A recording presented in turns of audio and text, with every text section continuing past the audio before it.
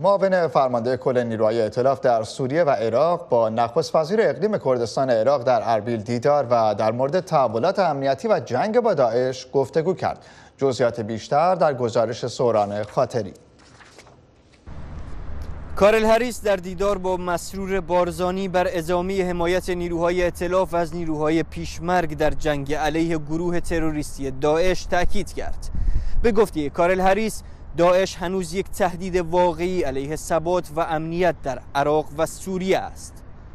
به گزارش حکومت اقلیم کردستان اصلاحات و ساماندهی نیروهای پیشمرگه در این دیدار مورد بحث و گفتگو قرار گرفت و مسرور بارزانی بر اهمیت تداوم و تقویت هماهنگی میان نیروهای پیشمرگه و ارتش عراق در مناطق مورد منازعی بین اربیل و بغداد برای پایان دادن به تهدیدهای داعش و خلای امنیتی در این مناطق تأکید کرد.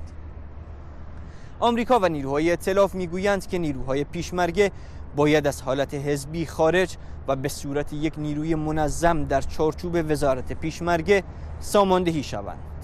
بیشتر نیروهای پیشمرگ از حزب دموکرات کردستان عراق و اتحادیه میهنی کردستان هستند. حملات بقایای پیکارجویان گروه تروریستی داعش علیه نیروهای عراقی در چند ماه گذشته به ویژه در مناطق مورد مناقشه بین اربیل و بغداد افزایش یافته.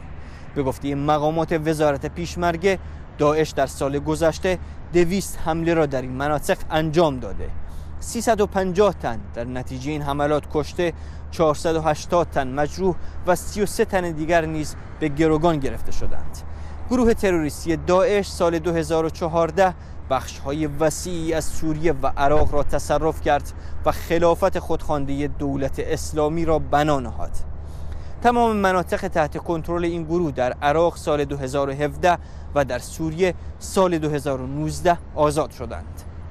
سوران خاطری صدای آمریکا اربیل